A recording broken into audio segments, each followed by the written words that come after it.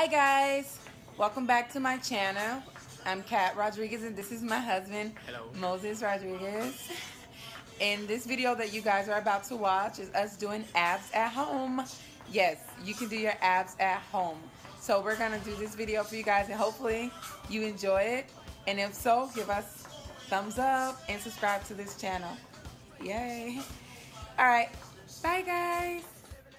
Okay guys, so for our first exercise, we did some leg raises and these are good for your lower uh, abdominal area right um, there to get the V shape.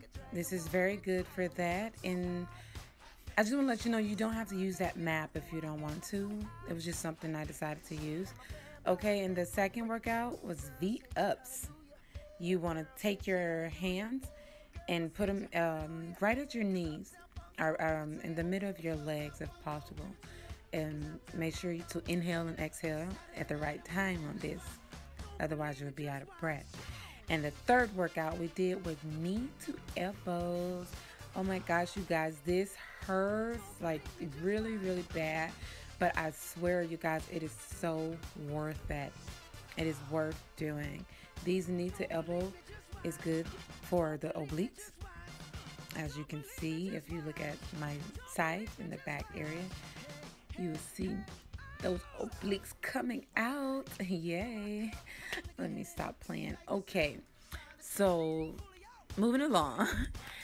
This is my husband also doing knee to elbows and I don't know if you noticed my pace when I was doing it, it was much slower than his. So you can move at your own pace. If um, you want, you can slow it down, you can speed it up. It depends on you, but make sure your form and balance is on point. Okay? Okay. So the next exercise, I never tried this before, but my husband came up with this.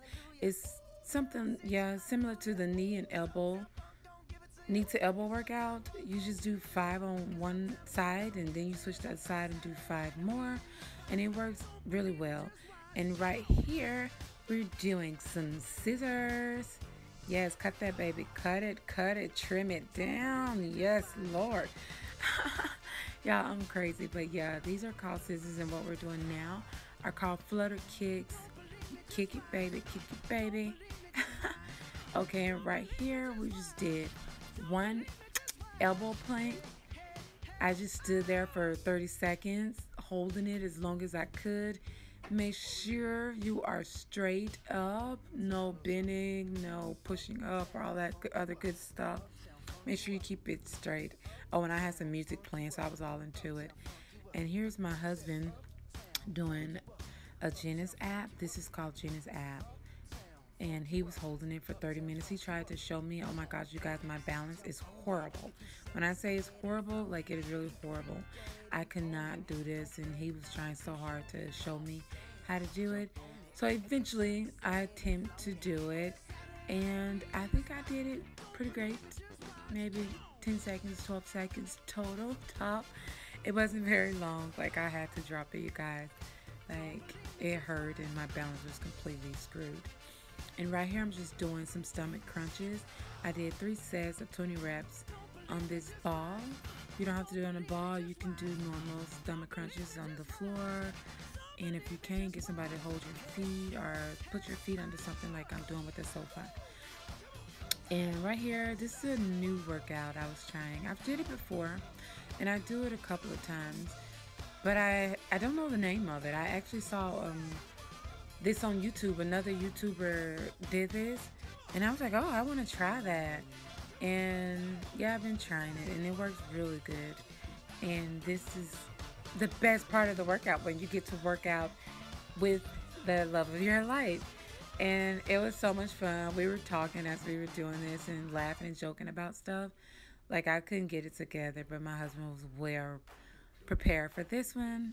He did a great job. And this is the end of this video, guys. Have fun. You know, when you do this, live, laugh, love, play with it.